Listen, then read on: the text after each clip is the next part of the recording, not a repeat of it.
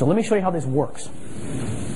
The way that we do it, you can do whatever you want, as long as it's legal.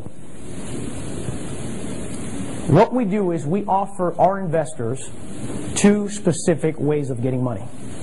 The first one is what we call the cumulative preferred rate of return. Everybody say cumulative, cumulative. Preferred, preferred rate of return. All right. What does that mean? It's very simple. We might give you, if let's say you put a million dollars or a half a million or 200,000 or 15,000, just one share. Based on the money you invest, we're going to give you a preferred rate of return of X, whatever that number is, right? It's cumulative because you're my partner. I'm giving you equity too, right?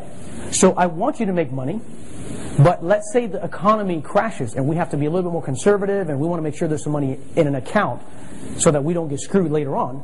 Then instead of giving you the preferred return, the cumulative means that if I can't pay you out that quarter, that, that return, I just add it to your balance.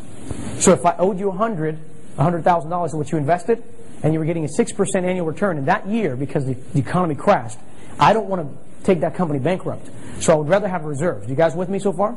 I can tell you, look, this year, buddy, trust me, you don't want me to pay the money.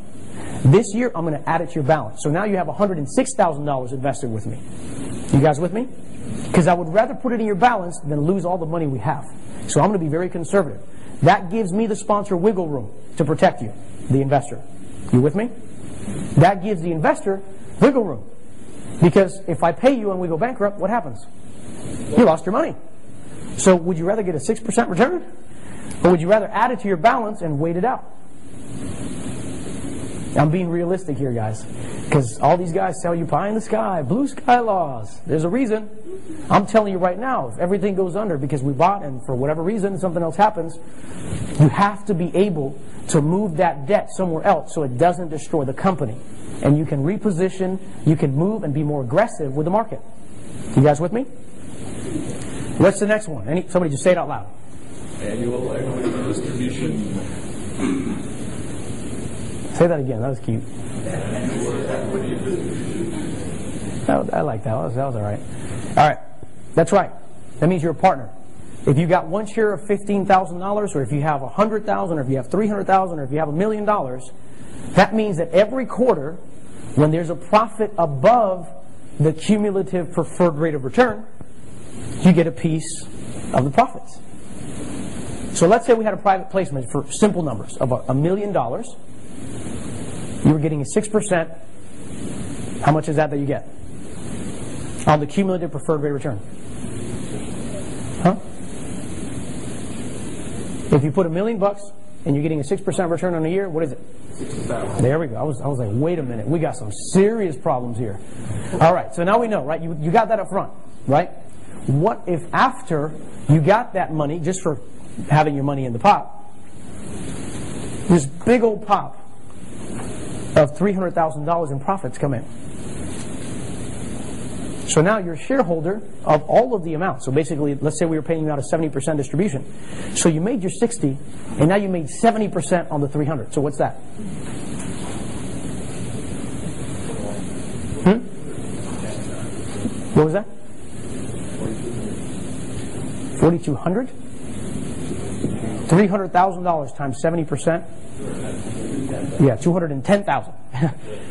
right? 210,000 plus 60 divided by the amount of money you put in, you figure out your ROI. Is that cool? Now, why am I so aggressive paying somebody 70% of the deal? Right? Here's why. Because the moment I pay you back 100% of your money, what's your return now? Infinite. Who's running the business still? Me. So now that I got your money back, it's okay if the tables turn. You get 30 of nothing, I get 70 of the work. Fair? Now, there's one thing that happens when that changes, and that is there is no more cumulative preferred return because there's no money. It's an infinite return. It's Adrian's system of blackjack. Right? It's the house. You're the house now. You follow? So, typically we do 5 to 7%. Yes, there's some people that like to offer 12%, 12, 13, 14, whatever. To be honest with you, I'm a realistic guy. If I offered you 12, you should be careful. Because if I'm offering you 12, that's because there's a lot more risk. Right? You guys with me? But if I'm offering something that makes sense, that won't break the bank, so that we can be productive and profitable as a business, and it defeats the bank, why not? Right? So that's the typical percentage rate that we use within our sponsorship program.